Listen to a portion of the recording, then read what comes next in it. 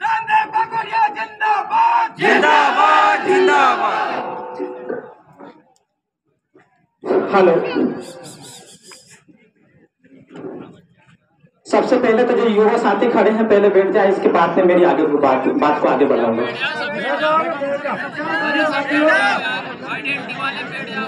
सभी साथी बैठ जाए।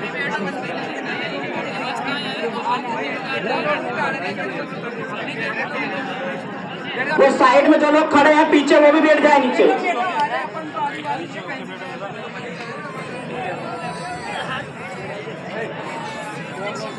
आदिवासी जिंदाबाद। आधे लोग उनके हाथ की नोट रखा से एकता जिंदाबाद रही है। आधे लोग खड़े हैं, आधे लोग बैठे हैं। आइए बैठिया कृपया करके।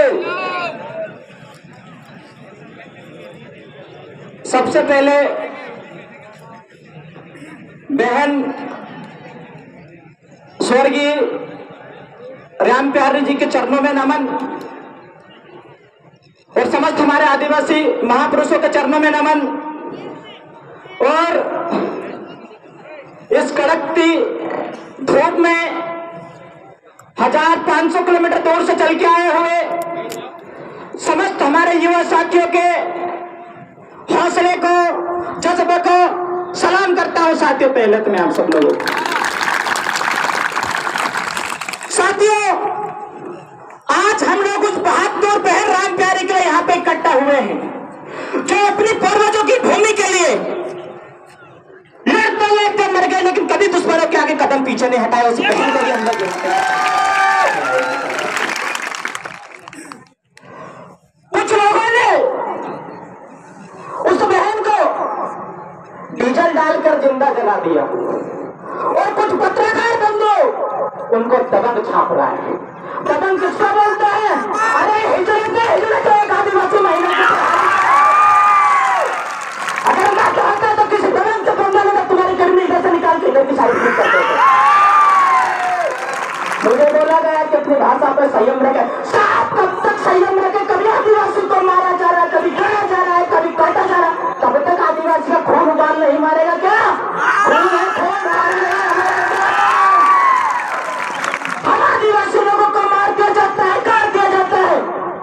प्रशासन सोता रहता है प्रशासन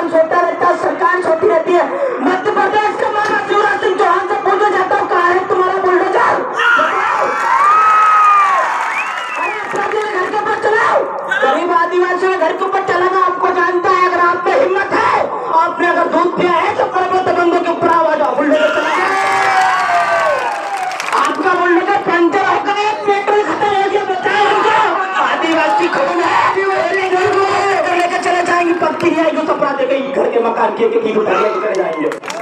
ये आदिवासी खून है दशरथ माजी के वंशज है, पहाड़ को तोड़ना जानता है अपराधों घर तोड़ना कोई बड़ी बात नहीं हम लोगों के लिए। जी से सवाल पूछना चाहता हूँ अभी के अंदर एक आदिवासी बहन के ऊपर घर के ऊपर बुलडोजर चला है वो बुलडोजर ये इन अपराधियों घर पे चढ़ा इनके हौसले बड़े बुलंद हो गए हैं। नहीं तो अगर रख गारंटी के साथ तुम मध्य प्रदेश के अंदर नहीं दिखेगा, याद रख लो मेरी बात को। आदिवासी सोता हुआ शेर पहले से भी कहता है। अगर जाग गए तो किसी कंडीशन में चट्टी में भी नहीं छोड़ेंगे तुम लोगों पूछना चाहते हो बीजेपी और दल के लोगों को। अरे आरएसएस, बीजेपी कुत्ता मर जाता तो तुम रंडे रोना रोने लग जाते हो।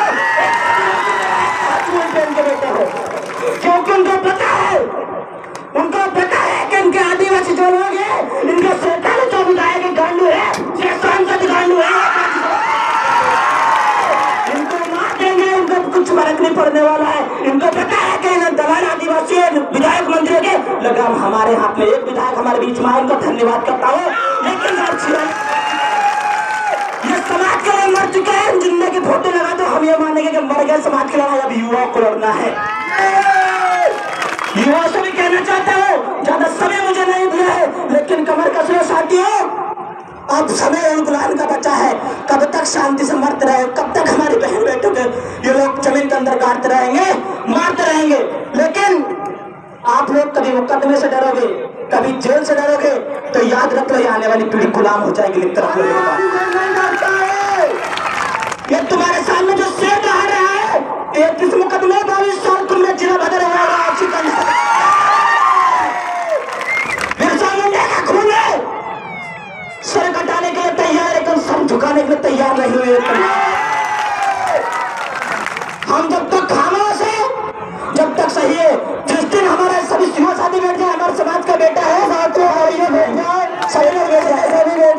सभी युवा साथी बैठ जाए। भाई मेरे सभी भाइयों बहनों बैठ जाए। सभी भाई बैठ जाए। जिंदाबाद जिंदाबाद। सभी युवा साथियों से निवेदन है कि बैठ जाए मैं अपनी बात को समाप्त करूँ। सभी भाई बैठ जाए कृपया करके। नीचे बैठ जाए सभी भाई।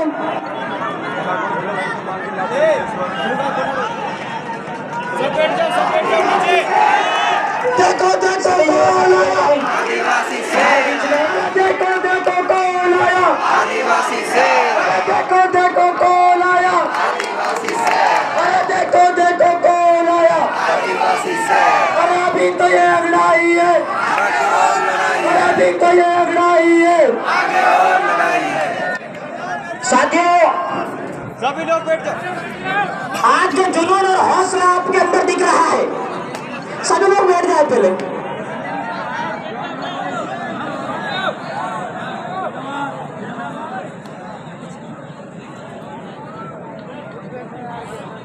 आज जो जुनून और हौसला आपके अंदर दिख रहा है यही जुनून और हौसला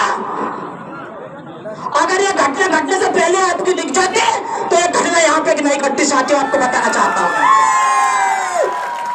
इन अपराधियों के हौसले इतने बुलंद नहीं होते अगर पब्लिक अगर पहले यहाँ पे इकट्ठी हो तो इन लोगों के हौसले इतने बुलंद नहीं होते, युवा साथियों, आपको बताना चाहता हूँ। और बहुत सारे प्रवक्ता लोग आए हैं। बहुत सारे युवा साथी यहाँ पे बैठे हैं। उनसे बोलना चाहता हूँ, कमर कसरो, तीर कामती घर में बनाकर रख लो। तो जैसा बताया करेगा, मैं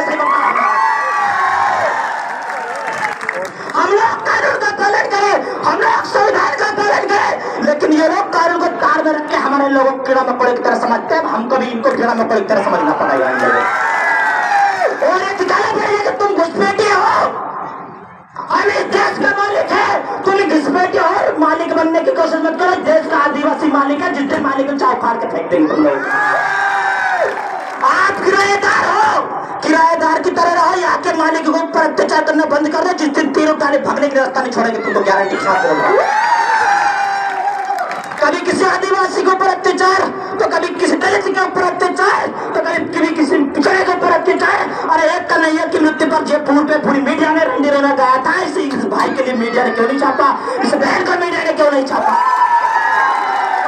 हमारे एक भाई को इंसाफ मांगने के लिए इंसाफ मांगने के लिए हेमंत भाई कुमार को थाना प्रभारी ने थाने के अंदर जंजाली थाने के अंदर कूट कूट के पीटा बम्फर तरीके से पीटा। प्रशासन के लोगों से पूछना चाहता तुम्हारा डंडा दबंग लोगों के ऊपर क्यों नहीं चलता? तुम्हारा डंडा दबंग लोगों पर क्यों नहीं चलता? हमारे बीच में देखो देखो कौन आया? देखो देखो कौन आया? साथियों अब ज़्यादा कुछ नहीं कहूँगा मैं अपनी वाणी को विराम दूँगा। आप सभी लोग बैठ जाए हमारे बीच में। कई बड़े बड़े कद्दावर युवा साथी और क्रांतिकारी साथी हमारे बीच में उपस्थित हुए हैं। ये जो युवा साथी आगे बैठ जाओ यार। मैं कुछ, फिर कुछ बोल बुला दूँगा, बोलेंगे, यार रामदेव भाई 500 किलोमीटर दूर से आया तो कुछ बोल के चले गया। थोड़ा पीछे आगे आके बैठ जाओ। और आपके पीछे रहने के कारण यह है कि बहन हमारे बीच में नहीं रही है। अगर आप आगे होते तो बहन हमारे बीच में होती।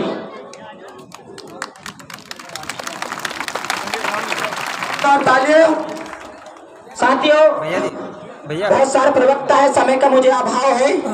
इसलिए मैं ज़्यादा कुछ भी नहीं कहूँगा। अगर किसी युवा साथी को किसी नेता को किसी फलाना को किसी ठिकाना को अगर बुरा लगा हो तो दस बार लगे मेरे को कोई फ़र्क नहीं पड़ता समाज की बात है।